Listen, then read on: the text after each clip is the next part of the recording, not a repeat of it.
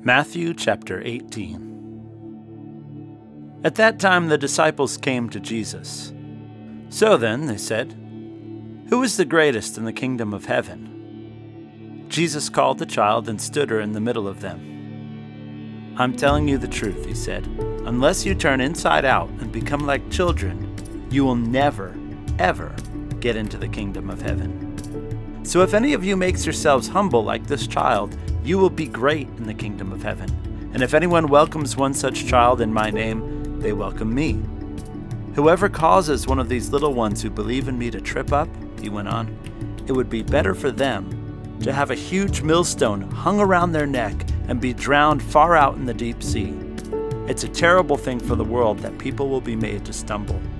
Obstacles are bound to appear and trip people up, but it will be terrible for the person who makes them come. But if your hand or your foot causes you to trip up, Jesus continued, cut it off and throw it away. It's better to enter into life crippled or lame than to enter into eternal fire with both hands and both feet. And if your eye causes you to trip up, pull it out and throw it away. Going into life with one eye is better than going into hell with two. Be careful not to despise one of these little ones. I tell you this in heaven, their angels are always gazing on the face of my Father who lives there. So, how does it seem to you? If someone has a hundred sheep and one of them goes off wandering and goes missing, what will he do? He will leave the 99 on the hillside and go after the one that's missing, won't he? And when eventually he finds it, I'll tell you the truth, he will celebrate over that one more than over the 99 that didn't go missing. It's the same with your Father in heaven. The last thing he wants is for a single one of these little ones to be lost. If another disciple sins against you, Jesus continued, go and have it out, just between the two of you alone. If they listen to you, you've won back your brother or sister. But if they won't listen, you should take with you one or two others, so that everything may be established by the mouth of two or three witnesses. If they won't listen to them, tell it to the assembly. And if they won't listen to the assembly, you should treat such a person like you would a Gentile or a tax collector. I'm telling you the truth. Whatever you tie up on earth, will be tied up in heaven, and whatever you untie on earth will be untied in heaven. Again, let me tell you the truth. If two of you come to an agreement on earth about any matter that you want to ask, it will be done for you by my Father in heaven. Yes, where two or three come together in my name, I'll be there in the midst of them.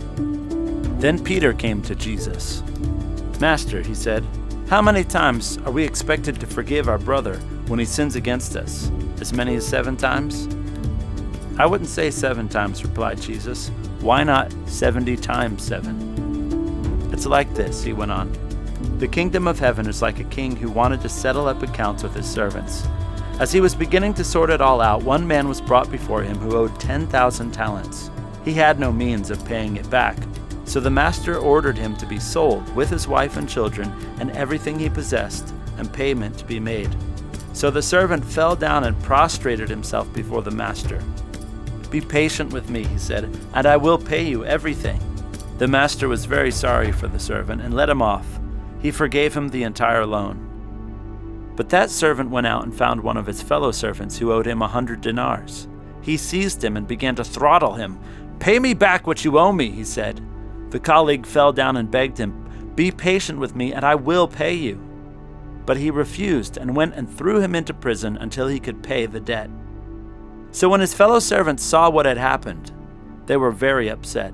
They went and informed their master about the whole affair. Then his master summoned him. You're a scoundrel of a servant, he said to him. I let you off the whole debt because you begged me to. Shouldn't you have taken pity on your colleague like I took pity on you? His master was angry and handed him over to the torturers until he paid the whole debt. And that's what my heavenly Father will do to you unless each of you forgives your brother or sister from your heart. This is the word of the Lord.